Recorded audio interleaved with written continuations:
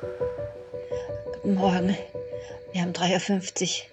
Ihr Lieben, ich habe gerade einen Anruf bekommen vom Transplantationszentrum. Das erste Mal habe ich ein Angebot für eine Lunge bekommen.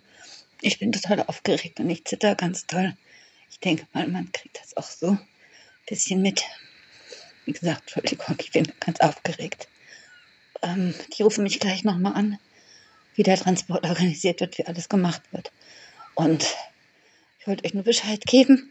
Ich habe mein erstes Angebot. Ich bin unendlich dankbar. Bis dann, ihr Süßen. So, nun bin ich im Krankenwagen und jetzt geht's gleich los. Meine Aufregung hat sich ein bisschen gelegt. Ich habe die Chance, ein neues Leben zu kriegen, ein, ein zweites Leben. Ähm, meine Lunge ist kompatibel. Ähm, das heißt, ich werde heute noch transplantiert. Und wenn man dann in diesem Vorbereitungsraum ist, dann realisiert man, jetzt ist es soweit. Ja, die Gedankengänge kommen, dass man sagt, ich kann da auch bei der Operation versterben.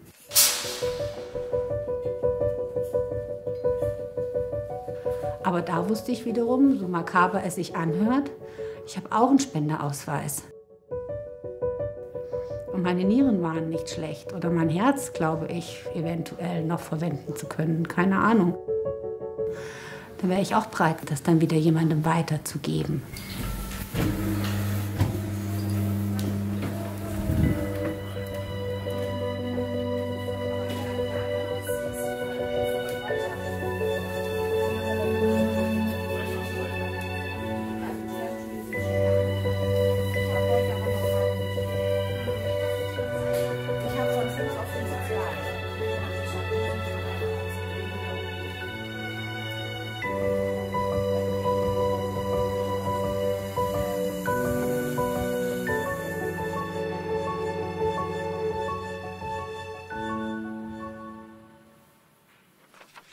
Als ich aus der Narkose aufwachte, war der erste Atemzug so ein Genuss, tief und kräftig einatmen zu können.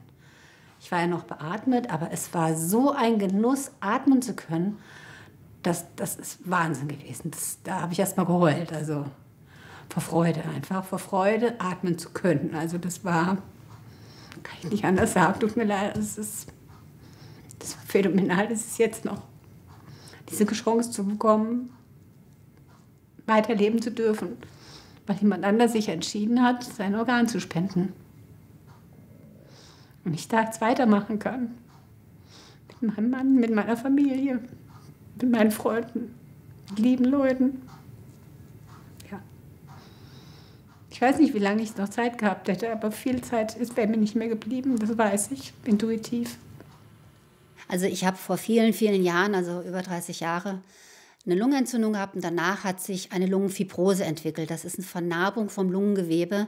Das heißt, man kann immer schlechter einatmen, das Gewebe drumherum vernarbt und es findet kein Gasaustausch statt. Also man kann keinen Sauerstoff aufnehmen.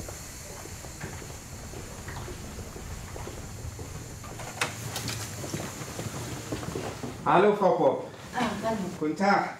Hallo. Na, wie sieht's aus? Gut. Alles gut soweit? Alles überstanden? Heute Es ist jetzt eine Woche her ungefähr, dass wir die Transplantation durchgeführt hatten, richtig? Ja, genau. Okay. Ja, super, wunderbar. Kommen Sie mit diesen Kugeln auch richtig äh, zurecht? Haben Sie Ähm, auch damit so ein bisschen zwischendurch mal geübt? Übe ich die ganze Zeit. Ich habe Ja. sogar nachts geübt. Ja. Okay, bin ganz gut, glücklich, alles ja. klar. Dann bis dann, ne? Darf ich noch was Ja, fragen? bitte, das klar. wäre mir ganz wichtig. Wäre es möglich, dass wir die alte Lunge bekommen könnten, eventuell? Können wir auf jeden Fall nochmal mit den Kollegen sprechen und dann äh, finden wir mit Sicherheit eine Lösung. Dann Ne? ich echt Okay? das Gut, toll. alles klar. Danke. Schönen Tag, ne? Tschüss. Danke, ciao.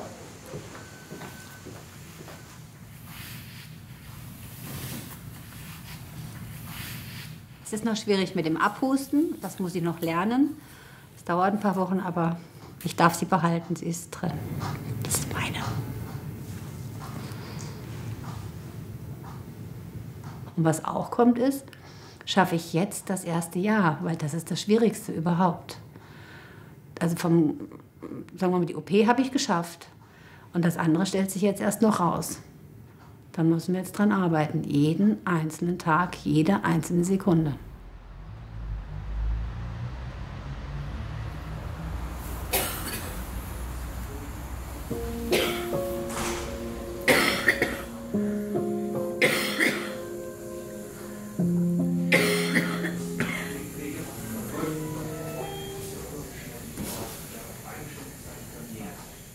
Habe heute Morgen Visite gehabt und da hat mir der Arzt gesagt, dass ich ein bisschen Wasser auf der Lunge habe, so um die 400 Milliliter, sagte er, und ich deswegen punktiert werden müsste. Nur was er rausgeholt hat, waren nicht 400 Milliliter, sondern es war ziemlich genau ein Liter. Das war natürlich ein bisschen besorgniserregend.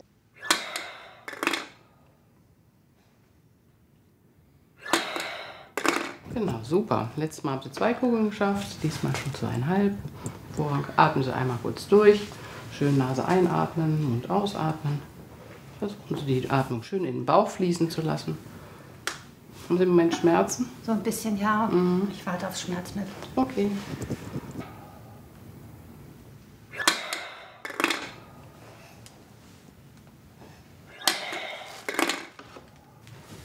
Jetzt habe ich noch eine Überraschung für Sie. Ja, Und zwar habe ich die Medizinstudentin gebeten, Ihnen etwas zu besorgen. Nein, echt? Wissen Sie, was es ist? Ja, ich weiß, was es ist. Sie hat sich so engagiert. Oh, wie toll.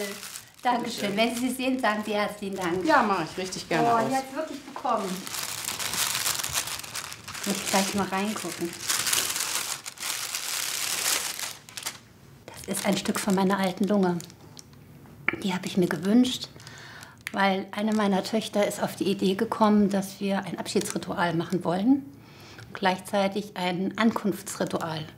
Einmal die alte Lunge verabschieden, weil die hat mich 58 Jahre getragen und sehr, sehr lange mit Krankheit getragen.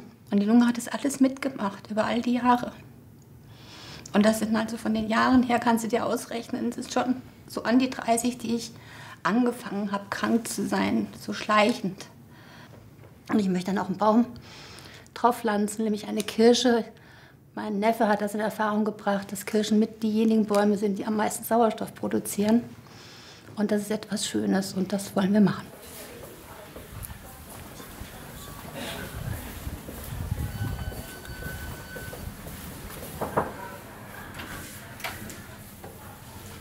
Guten Tag, Frau Bob. Wie geht's Ihnen heute? Mir geht's sehr gut. Ja, da haben wir eine gute Arbeit gemacht. Hervorragende Arbeit. War, wir haben Sie vor zehn Tagen transplantiert. Ich bin inzwischen in Urlaub gegangen, komme wieder zurück und Sie sind so glänzend. Ja, ich bin Ja, auch sehr danke. glücklich und sehr dankbar. Genau. Das ist gut, wir sind zufrieden. Also muss man sagen, dass bis jetzt alles gut gelaufen. Ich hatte auch ein bisschen schlechter Gewiss, weil ich in Urlaub war und ich war in Neapel. Ich habe so was gekauft, das ist ein Glücksbringer. Habe gesagt, so dann bei den Patienten geht auch alles gut, wenn ich transplantiere. Ne? Ich bin glücklich, ja, klar. Also dass äh, bei Frau Bob gut geklappt hat, ja, weil sie hatte auch als Grunderkrankung eine Fibrose.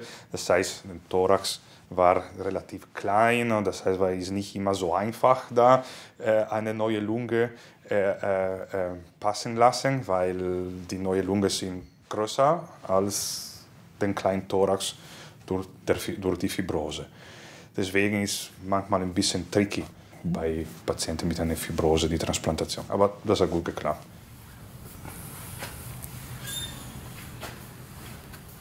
Atmen ist natürlich super.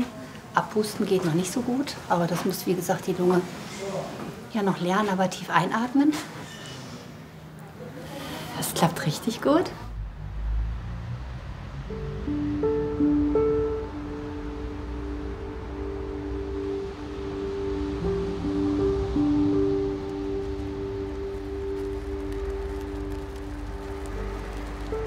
Mich war die Dankessäule ein ganz wichtiger Anlaufpunkt tatsächlich. Das war ein Ziel, was ich hatte. Ich wollte nach der Transplantation dorthin. Man kann dort andere Patienten, die transplantiert worden sind, mit verschiedensten Organen, tatsächlich hören, indem man die Hand auf die Hand legt, die dort ist. Man hört die einzelnen Geschichten, wo diese Menschen Danke sagen für ihr Organ. Hallo, bin Kerstin und seit fast zweieinhalb Jahren lungentransplantiert. Und ich möchte in diesem Moment einfach mal meinem Spender Danke sagen, beziehungsweise der Familie, denn ohne ihn wäre es nicht möglich gewesen, dass ich weiterleben kann. Vielen Dank. Das finde ich eine sehr schöne Geste, dass man hierher kommen kann und kann sich andere Geschichten anhören. Und ich war eben schon so beeindruckt, dass jemand doppelt Lungen transplantiert war seit 18 Jahren. Das ist was Besonderes.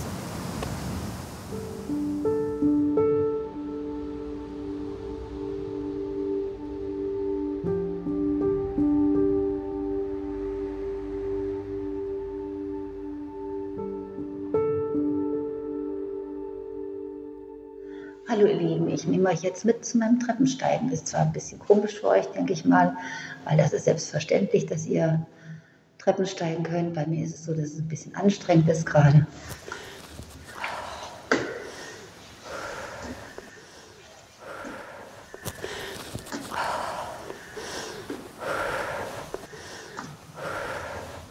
So, und jetzt seht ihr, da ist die Notaufnahme.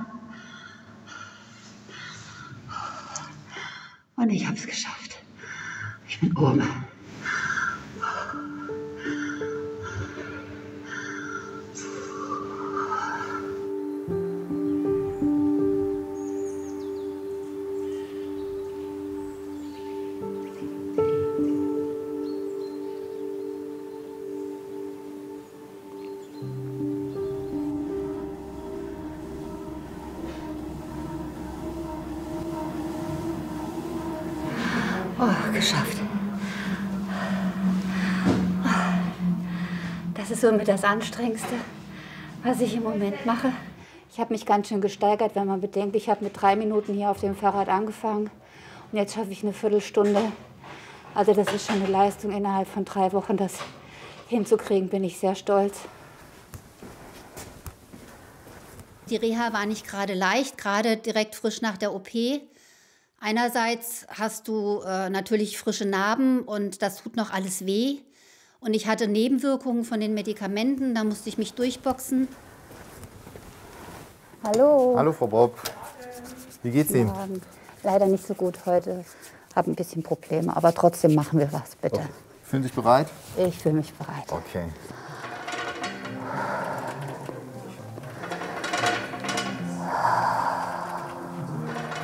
Oh, was zwiebelt das? Zwei Wiederholungen noch, dann haben wir es geschafft. Und die letzte.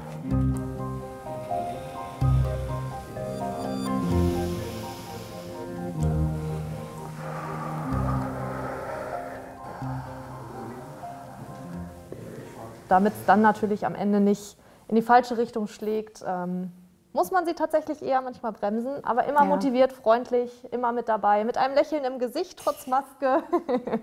genau. Man lernt wieder anders zu atmen, weil als man Sauerstoff hatte, hat man ganz oft die Lippenbremse benutzt und hier kriegt man das wieder abgewöhnt. Und die Therapeuten weisen einen wirklich immer wieder darauf hin, dass man richtig atmet jetzt, wieder ganz normal. Und das muss man wirklich wieder lernen. Und da passen die sehr, sehr auf. Und gerade diese Atemtherapie ist ganz wichtig.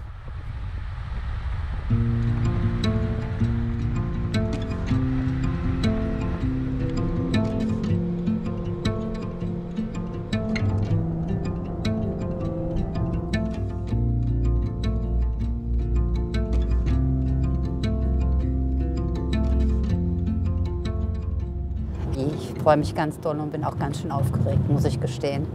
Endlich nach so vielen Wochen nach Hause zu kommen, ist schon irre. Und ich freue mich jetzt auf die Vorweihnachtszeit.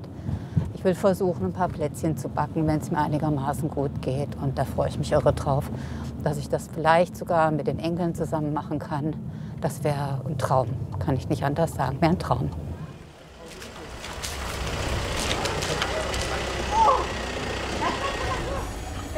Hallo, mein Schatz. Hallo, Uwe.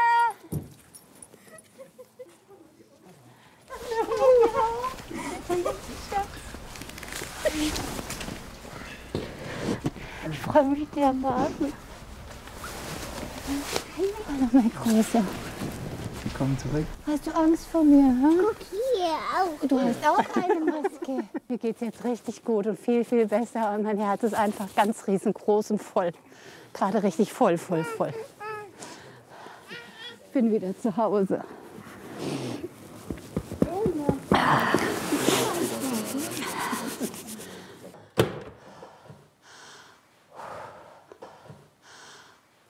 Wir sind tatsächlich jetzt in meinem Zuhause und extra für mich in einem Zimmer, was meine Familie für mich zurechtgemacht hat. Mein Sohn war richtig, richtig super fleißig mit vielen Freunden, die geholfen haben, das Zimmer herzurichten, damit ich hier sein kann die nächsten Wochen und Monate, damit ich einfach gesund bleiben kann und mich so ein bisschen isolieren kann, falls irgendwelche Infekte irgendwo sind oder äh, jemand Magen-Darm hat. Also, dass man da vorsichtig sein muss, Denn die erste Zeit ist wirklich kritisch und da muss man richtig, richtig dolle aufpassen und ich bin vorsichtig.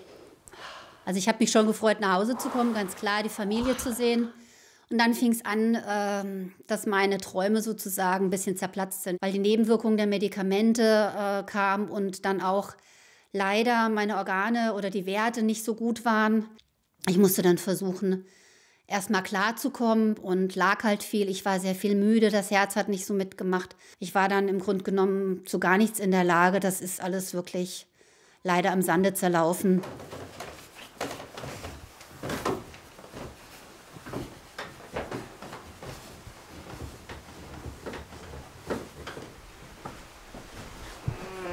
Moin, mein Schatz. Moin, Mami. Oh, ich freue mich so. Ich freue mich auch. Wie geht's dir heute?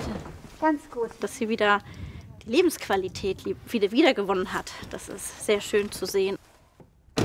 Ja, man macht wieder mehr im Haushalt, macht so Kleinigkeiten. Man kann besser mit ihr telefonieren. Die Sätze, sie spricht wieder kräftiger. Sie macht wieder mehr, was ihr gut tut. Also wir fahren zu jemandem, den ich kennengelernt habe in der Reha. Ich bin ein bisschen zwiegespalten, weil ähm, auf der einen Seite freue ich mich sehr, den Sascha wiederzusehen und auf der anderen Seite geht es dem Sascha nicht so gut und da mache ich mir natürlich auch Gedanken, ähm, wie man ihm vielleicht so ein bisschen helfen kann. Also er hat schon jemanden, der sich mit um ihn kümmert, aber trotzdem lebt er alleine und hat so die Hauptentscheidungen wirklich alleine zu treffen und nicht im Verbund. Und das kann sehr schwierig sein, wenn man äh, keine, wie sagt man, nicht diesen Austausch hat, diesen Regen, den ich habe.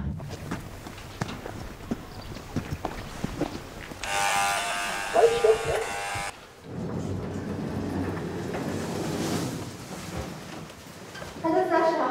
Oh, ich freue mich so, dich zu sehen. Das ist so schön. Das ist so schön. Ich genieße es. So schön. Komm rein. Nach so langer Zeit, gerne. Sascha hat sehr abgenommen, auch ähm, im Laufe der Zeit. Aber ich weiß, dass er an Gewicht zunehmen muss. Der bemüht sich sehr und er muss einfach zusehen, dass er an Muskelmasse und Fettmasse zunimmt, damit er dann in die Kategorie kommt, dass er gelistet werden kann. Du siehst so gut aus. Das. ah. Also ganz, du hast dich total verändert. Ja, Total. wie sieht es denn bei dir jetzt eigentlich aus? Wie läuft denn das bei dir jetzt gerade? Ich bin im Moment noch nicht gelistet und muss jetzt erstmal abwarten. Ich muss jetzt erstmal zunehmen. Letztes Jahr bin ich, ähm, war ich ja in Gießen und zur Listung sollte gelistet werden. Und dann haben die mich untersucht und dann haben sie gesagt, ja, also so wie ich jetzt aussehe, ähm, ich müsste also wenigstens 10 Kilo zunehmen, um gelistet zu werden. Und somit hat sich die ganze Listung zerschlagen. Ich habe geheult.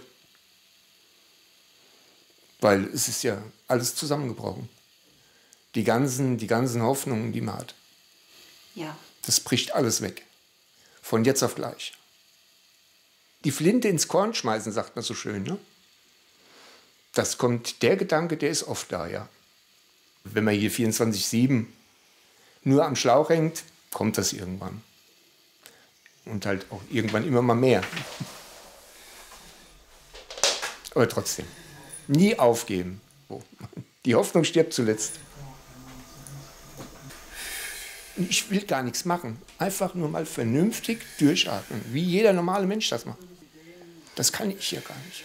Ich weiß nur, dass wenn ich nachts hier liege, wenn ich dann wach werde, dann weiß ich, ich lebe noch. Weil dann atme ich auch wirklich ganz ruhig.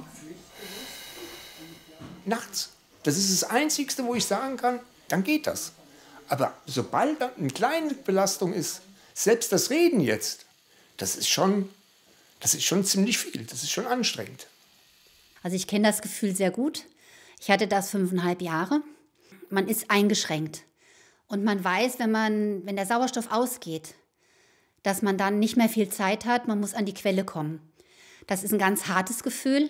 Und ich hatte eine Situation vor Jahren, da wäre ich fast gestorben, weil der Sauerstoff nicht gereicht hat, der war leer. Ich bin froh, dass ich da keinen Hirnschaden von mir getragen habe. Soziale Kontakte sind alle weggebrochen. Durch die Krankheit. Die sind alle weg. Es kommt nicht, also Freunde, diese, die, oder die sich Freunde geschimpft haben, das sind die, die noch nicht mal mehr wieder anrufen. Wo ich mich jetzt sehe, ich sehe mich irgendwo transplantiert und einfach mal auch wieder in Urlaub fahren. Natürlich. Gehört alles dazu. Und wir hoffen, dass das funktioniert. Ja, das hoffe ich auch. Das hoffe ich auch. Deswegen habe ich Kuchen mitgebracht. genau.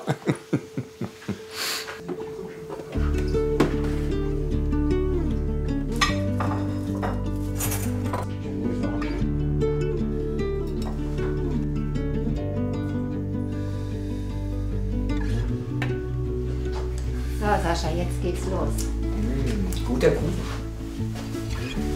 Dankeschön.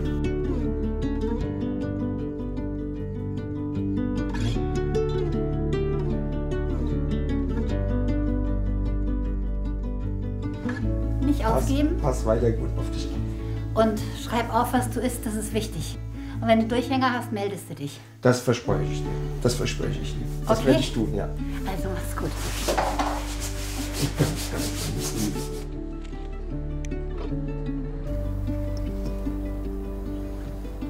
Also erstens, dass ich ihn gesehen habe nach so langer Zeit, das war schon cool und klasse und wunder wunderschön. Und das bekräftigt natürlich so eine Freundschaft auch noch mal, ganz klar.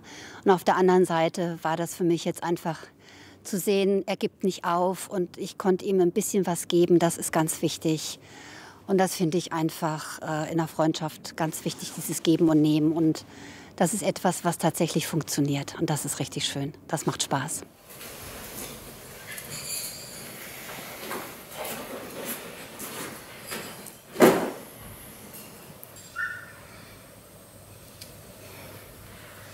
Früher, wenn ich solche Filzhausschuhe gemacht habe, habe ich tatsächlich so einen in anderthalb Stunden geschafft. Und jetzt bin ich froh, wenn ich mit Konzentration dann eine Reihe fertig habe. Aber ich hole es mir zurück, Stück um Stück.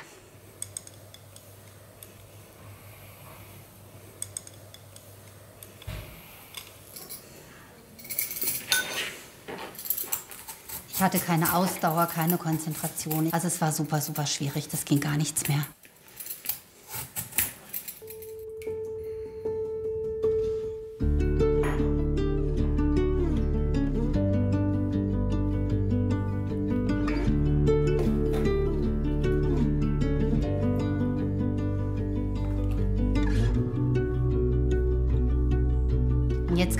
Bisschen was machen. Es kostet mich viel Kraft. Es ist alles sehr, sehr langsam und das Zittern ist natürlich da. Aber so Kleinigkeiten, so ein paar Belege zusammenrechnen, das ist ein Erfolg.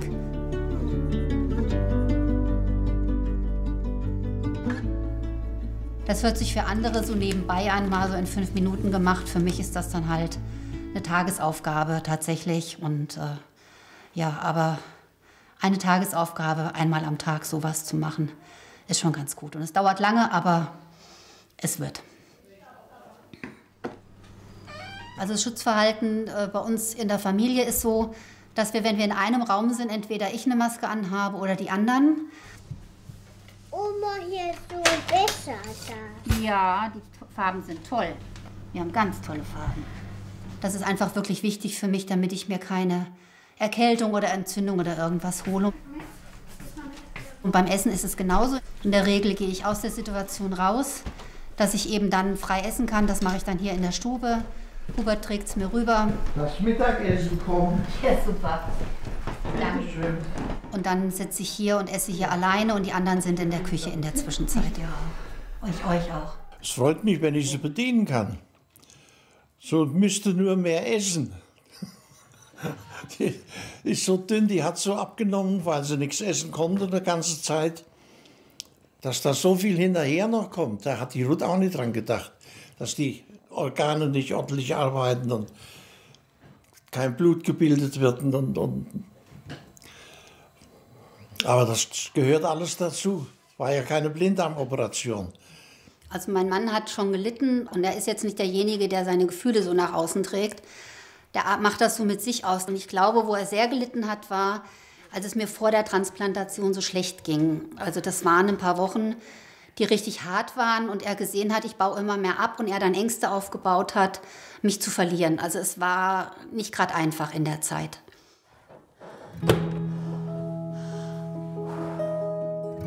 Es ist schwierig, gerade Kontakt zu dem Rest der Familie zu halten, die, die eben weiter weg wohnen.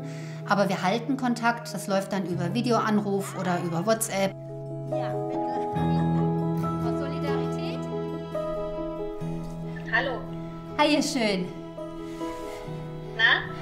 Wir haben uns extra schön gemacht für dich. Ja, ich sehe es. Tatsächlich meine Haare gekämmt extra. Oh. Wie lange schon geworden? Sehr lang sogar. Richtig lang, ne? Das ist für mich was ganz Besonderes, wenn die Kinder sich Zeit nehmen können. Die machen ganz viel nebenbei, aus der Ferne. Wenn irgendwas zu regeln ist, das ist etwas so Schönes. Ich genieße das. ja. Mama, du wünschst dir doch ein Tattoo. Ja, ein ganz bestimmtes. Ich habe hier mal eingegeben, Organspende. Siehst du denn, die meisten haben es am Unterarm, Ja. weil da die Ärzte nämlich als erstes gucken. Oh, das ist auch sehr schön. Dann wächst noch was raus, wie ein neues Leben. Diese Trittbrettfahrer finde ich sehr schwierig. Wenn man nämlich ein Organ braucht, dann wollen alle eins haben, weil sie ja gesund werden wollen. Ob das Niere, Herz, Bindehaut ist, was weiß ich, Haut ist, dann wollen sie alle haben. Aber sich damit auseinanderzusetzen, Organspender zu sein, ist vielen gar nicht bewusst, dass das wichtig ist.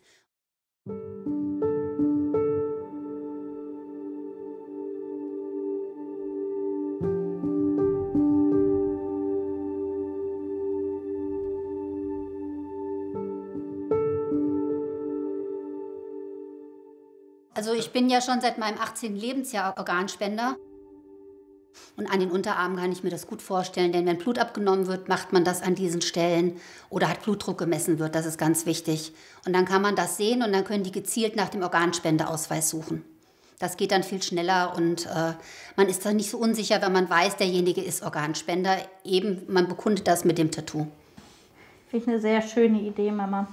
Würdest du es denn größer oder kleiner Ich machen? glaube, ich würde es kleiner machen.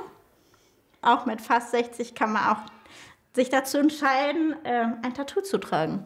Die Mama ist innerlich so jung geblieben und ähm, trägt es auch mit Stolz, dass sie Organspenderin ist und ähm, das Tattoo passt zu ihr. Das spiegelt sie nochmal. Das passt einfach sehr gut. Das hat sich ja ein bisschen ähm, durch die Tätowierer jetzt etabliert und das finde ich total klasse.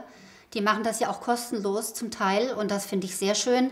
Das ist eine super, super tolle Aktion und das möchte ich nach wie vor, auch wenn ich transplantiert bin und wenn es möglich ist, möchte ich das gerne sein und ich will es nach außen hin tragen.